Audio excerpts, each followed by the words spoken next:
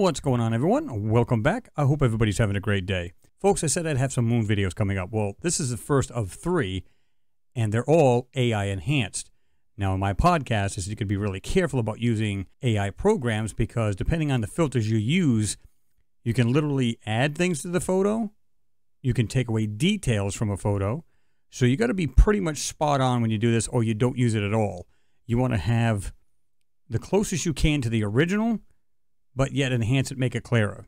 Now, this first one is from Apollo 16, and they call it House Rock. Now, I have done this particular rock in another video, and you're going to see this. But when I did the AI enhanced, there's something I didn't notice before, and I thought it was really, really wild. So, why don't we get into that? Check this out, and you'll see what I'm talking about.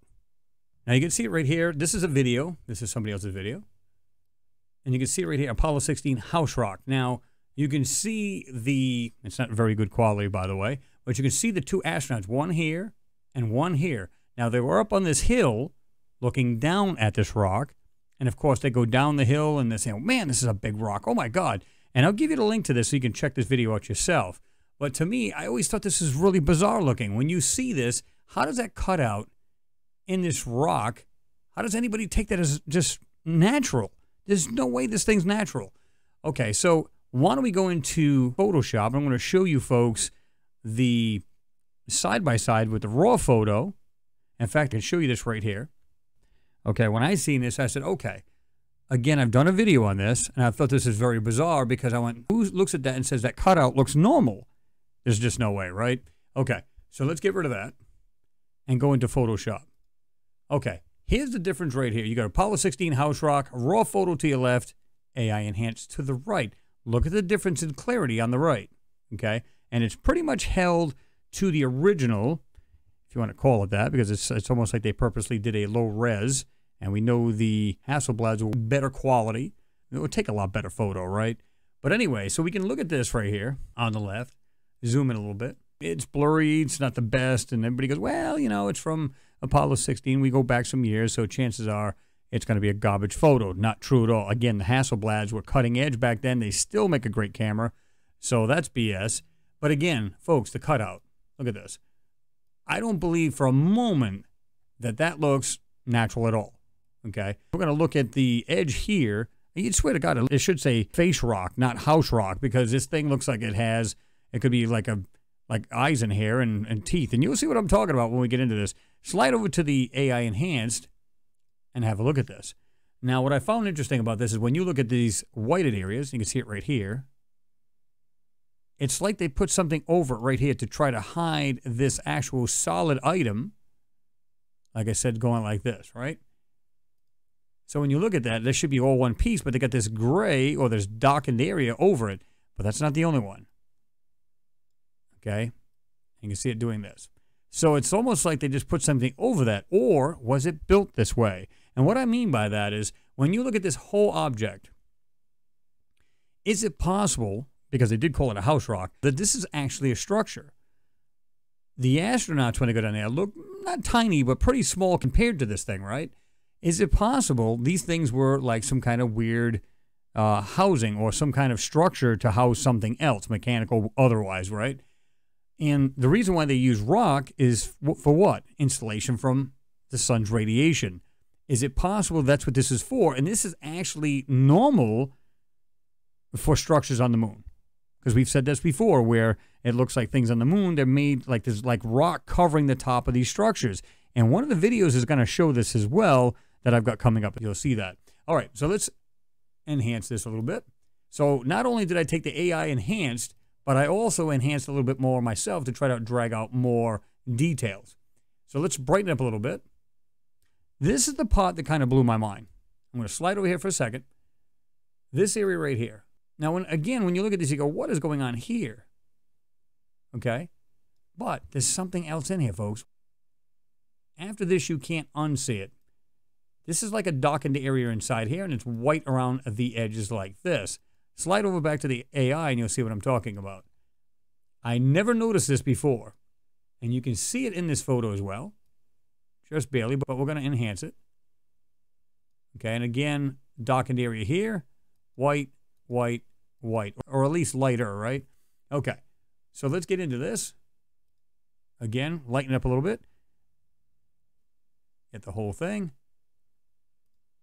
Okay, now folks, see what happens when you burn this? You get a color that really pops out. Now keep in mind, this is an RGB, even though when you slide to the original RAW, what do you see? I see zero colors. All I see is black and white, or gray and white, if you will.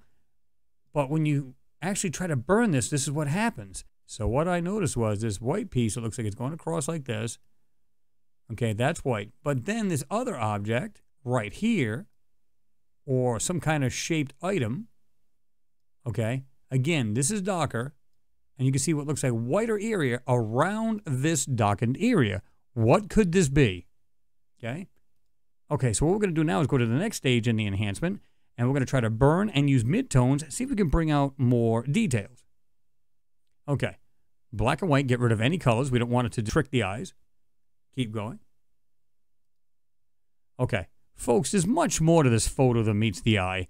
This right here, if you notice this area right inside, right here, this is a manipulation, folks, because you can see something, just a little bit of white right there, white corner, but guess what?